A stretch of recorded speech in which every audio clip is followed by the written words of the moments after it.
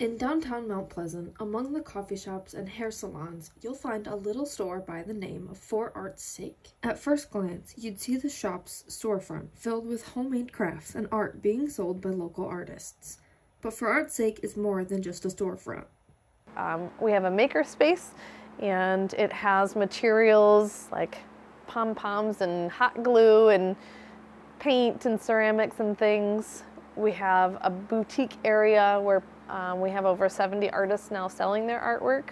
So that's an amazing collaboration of creative minds working together. We have permanent jewelry, um, a splatter paint room, which we call process art because it's really just the fun of making it, not necessarily the end result. We have a rage room for people that just don't do art at all, but we want them to be included in our really cool space. That's Megan Bear, the co-owner and operator of For Art's Sake. She started selling her and others' artwork in the restaurant her and her husband owned, but unfortunately their restaurant closed down during the pandemic. I needed a new home to sell the artwork because it was so fun and community involved and I wanted to make sure it continued. So I found the New Yorker here in downtown Mount Pleasant and um, kind of took over the space. And it's been just a growing wild adventure every day since then. For art's sake is kind of a, it, for art's sake to us means for the sake of art, for creative art, for appreciating art, for um, making your own, all ages and abilities. So with that, we've included lots of opportunity for all the skilled levels to create. Another way for art's sake makes art accessible to the community is through their donation program. So we collect donated creative materials and our loft has turned into the $5 fill-a-bag fiber art loft, which means you can fill a bag for $5 of yarn, fabric, string, crochet hooks, all of the tools that you might need to either start a new hobby or start a new project. Um, and it to me, it, it's more encouraging to start a new hobby or learn new things if it's a little bit more affordable.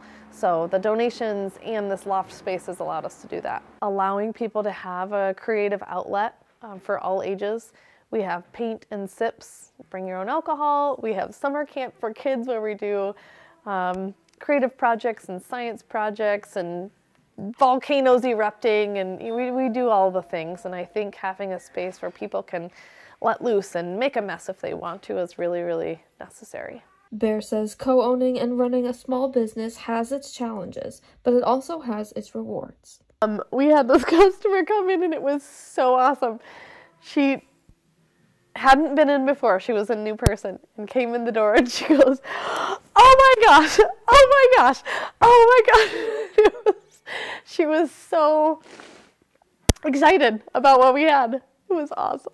Yeah, really Every day shows its own version of difficulties. Um, sometimes it's finding time to do all the things that you want to do. Um, for me, I have all of these grand ideas and plans, um, and there's just never enough time in the day.